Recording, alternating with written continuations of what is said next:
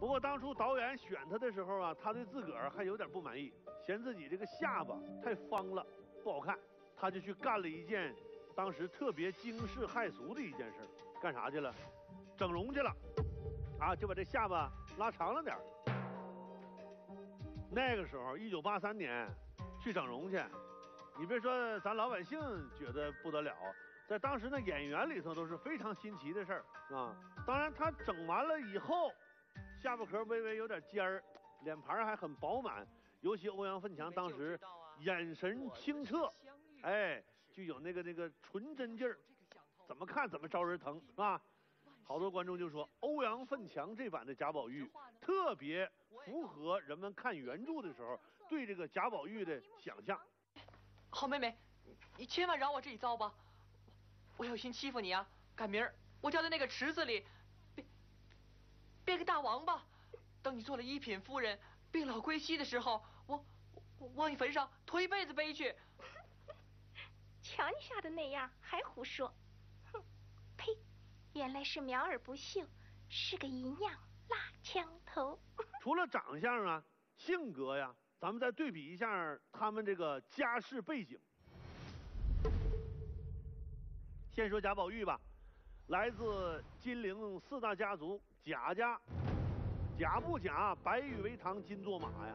贾家有宁国公、荣国公啊，这个公啊，那是人家的这个爵位。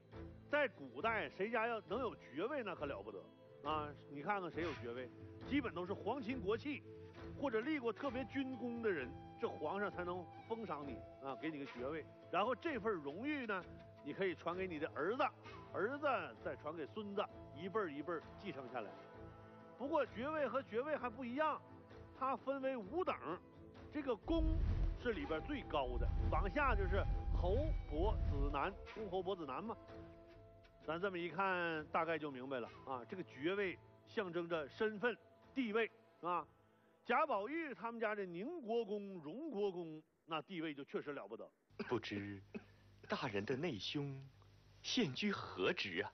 就是当年荣国公的孙辈呀。哦，宁国公贾演、荣国公贾元恩赐永远春季赏，共两份净折银一千两。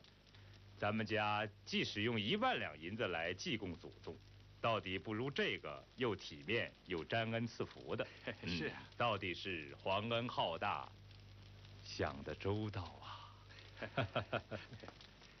曹雪芹呢，虽然说没有贾宝玉家那么有钱有势，但是他祖上在江宁那绝对是货真价实的名门望族。曹雪芹的曾祖父就太爷爷。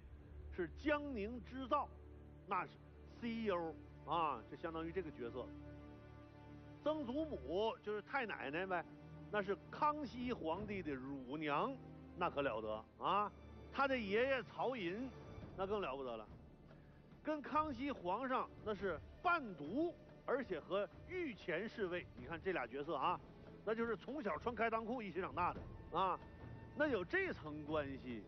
康熙登基之后，对曹家那得是格外关照，发小啊，是吧？这个江宁织造那可是个大肥差啊，上头有人罩着，曹家这个生意就越做越大。等传到了曹雪芹他爸爸曹勇手里的时候呢，那就完了，开始走下坡路了。为啥呀？这个曹勇呢，你想啊，从小蜜罐里头泡大的啊，一他没有勤恳奋斗的这个素质。